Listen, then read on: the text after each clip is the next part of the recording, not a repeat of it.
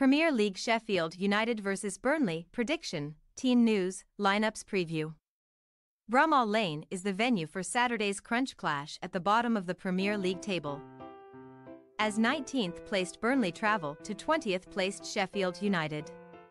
Only four points separate the two strugglers in the business end of the Premier League season, although Chris Wilder's men still boast a match in hand and have revenge on their mind following December's events. Match Preview Hard-earned points against Bournemouth, Fulham and Chelsea may have delayed Sheffield United's demotion from the top flight, but Saturday's hosts are still the overwhelming favourites for a swift championship return after last weekend's painful Brentford experience. Oliver Arblaster, the teenage midfielder who has otherwise been a shining light for the Blades, inadvertently diverted Mikkel Damsgaard's delivery into his own net just past the hour mark. Before Franco Onyeka's strike from a sublime Kevin Schade assist ensured maximum points for the Bees. While Sheffield United boss Wilder felt that little could separate the two sides throughout the 90. The 56-year-old lamented his side's lack of cutting edge in key moments as the Blades set another piece of unwanted Premier League history. 84 goals conceded at this stage of the season is the most since the competition's inception in 1992. Now 10 points adrift of safety thanks to Nottingham Forest's draw with Wolverhampton Wanderers, the Blades will remain rooted to the foot of the division even if they come up trumps in Saturday's Cellar contest. Which precedes two daunting trips to Manchester United and Newcastle United.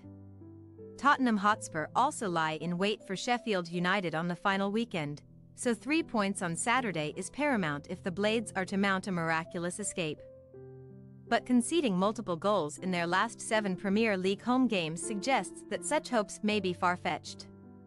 As Vincent Kompany took his seat on the naughty step for Burnley's visit of Brighton.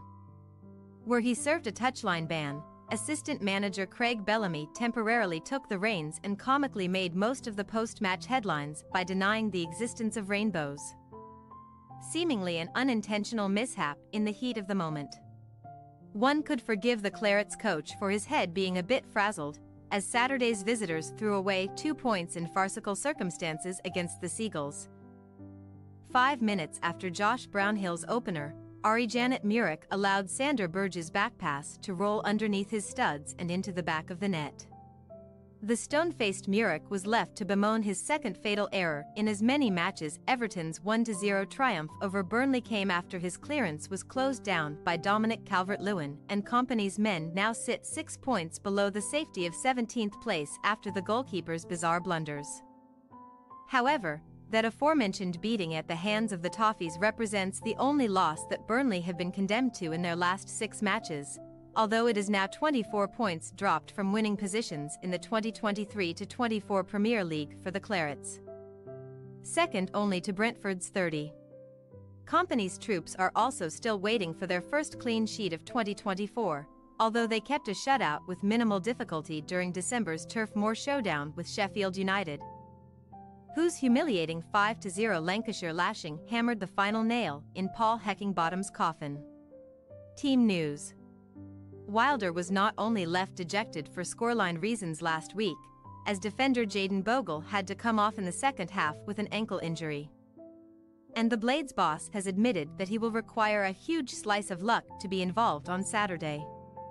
Jack Robinson, absent from the loss to Brentford entirely, is in the exact same boat with his own ankle concern.